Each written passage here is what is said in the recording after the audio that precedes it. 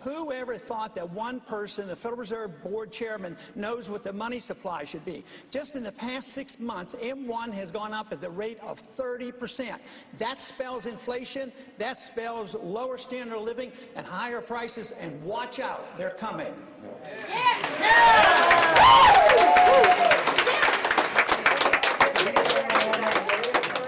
Tell us more about the blood sport, the comparison to this event compared to, uh, let's say, football, boxing, that sort of thing. Right. You know, football, boxing, these are called blood sports, but they really don't compare to the blood sport of ideas that are talked about in these debates.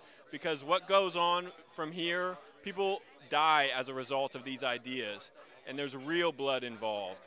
And so it, it's important for Americans to realize that, you know, Monday Night Football is great. I love football, I love watching sports, but we're at a, a real time in our history where ideas matter much more than our favorite football team and who wins the Super Bowl.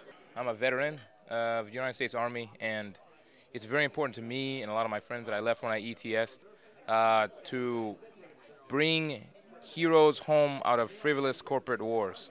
Uh, the fact that my friends and my friends' brothers and my neighbors' brothers and daughters are uh, dying for corporate greed that doesn't even trickle down to the to uh, our defense and only makes us more uh, unstable financially and physically.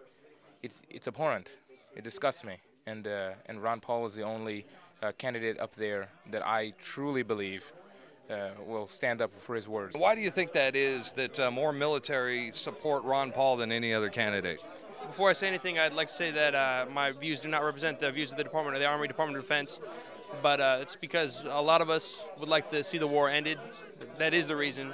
He gets not only more support from all the re- Republican presidential candidates combined, but more than the current president combined, all of them. So every veteran I talk to, they're all behind Ron Paul. Uh, they will be going into Iran in the fall of 2012, right?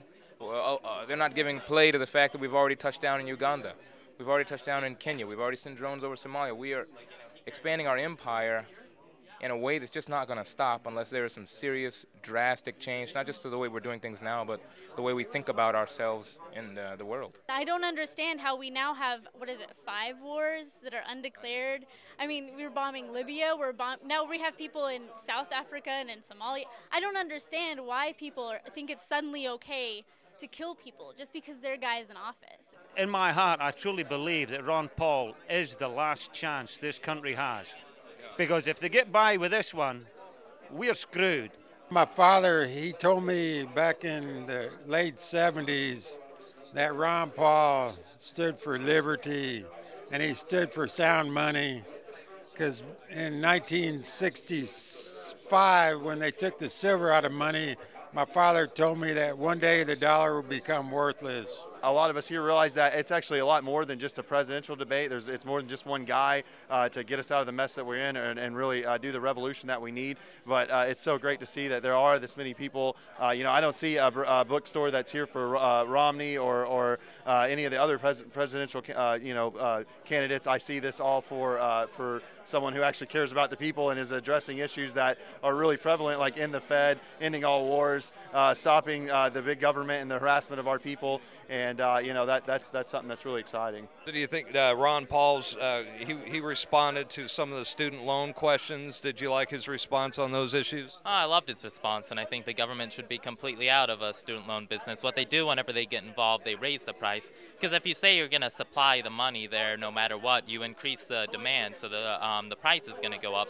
If I said you know all Americans should have bicycles, and I was a president and I had a program that gave everyone you know money for bicycles or cars or something, what do you think the people who make the bicycles or cars are going to do? They're going to raise the prices. We have to wise up and look at where the bubbles come from. It's from the Federal Reserve, and we should start by auditing the Fed, and then we should end the Fed.